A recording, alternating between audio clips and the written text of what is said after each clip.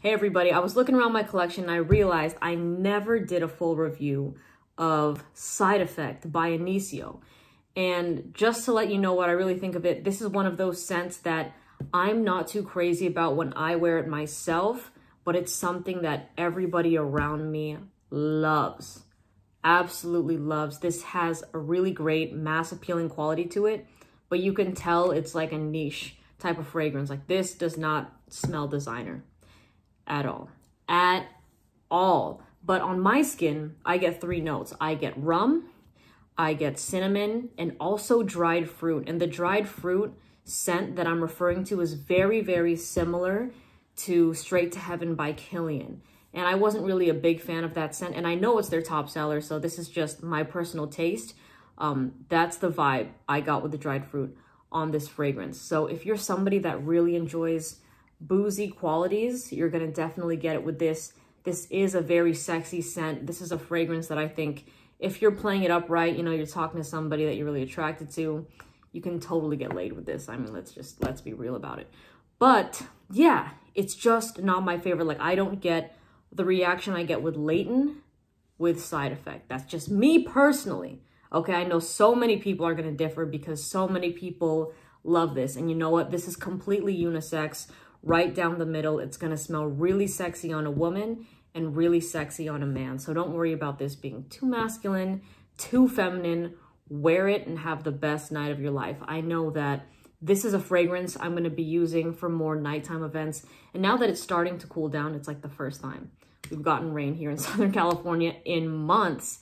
Um, I will be whipping this out to test it. It goes for like $320, I think, retail price on their website on Initio's website. So I know if you're not, if you're new to niche fragrances, that's that sounds absurd and I understand. But I believe Twisted Lily has samples for $5. So you can just, you know, smell it. Or if you want to get like a 10 ml decant, I don't know if they have that on Twisted Lily. But you can get it for definitely a small, like a, a little, a small price point. And if you really, really like it, then maybe it can justify getting a full-size bottle. But you can try sites like FragranceNet um, and see if they have, you know, some discounts. Like FragranceNet is a discount site I've used since I was starting my fragrance collection. But that's when I probably, I probably got like seven fragrances off there. Maybe eight or something like that out of my entire collection. This is actually 99% of this has been given from you all and from brands, which I'm really, really grateful for.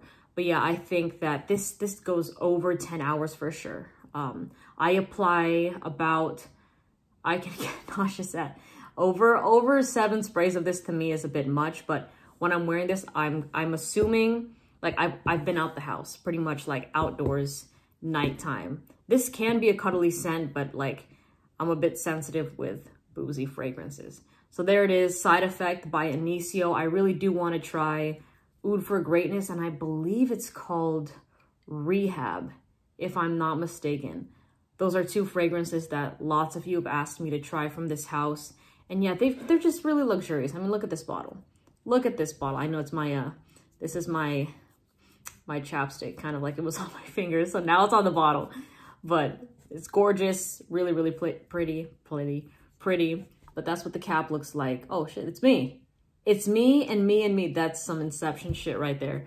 But yeah, let me know what you think if you've tried this fragrance or if there's another scent you want me to try um, that I haven't before or if you want something like a full size, a full size, a full review on anything, okay? So uh, have a good night. It's around 11 o'clock here, but I just had the sudden urge to make a video, so I'm just going to try to push out a couple more before I go to sleep tonight. All right, so have a good one, stay safe, and I'll see you in the next video. Okay, bye.